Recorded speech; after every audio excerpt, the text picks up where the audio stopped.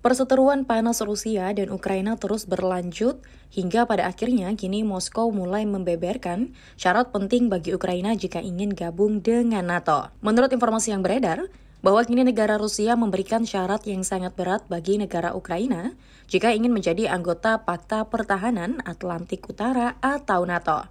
Mengutip dari pengungkapan Dmitry Medvedev selaku Wakil Ketua Dewan Keamanan Rusia, yang mengungkapkan bahwa syarat penting bagi Ukraina jika ingin gabung NATO, yakni ibu kota Ukraina yaitu Kiev, harus masuk jadi bagian negara Rusia.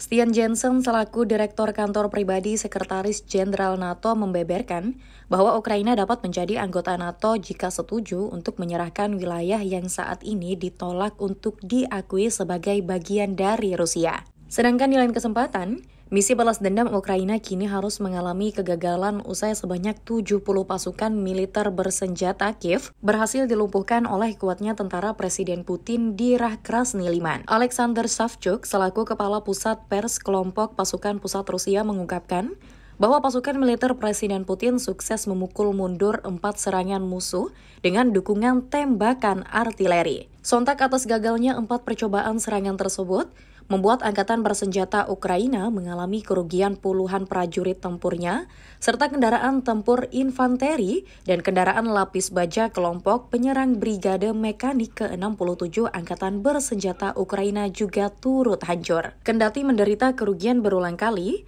serta serangan balasan yang kadang tak membuahkan hasil, Ukraina tetap optimis memenangkan perang terhadap pasukan militer Rusia lantaran Ukraina terus mendapat bantuan berupa senjata dan peralatan pertempuran dari negara-negara barat.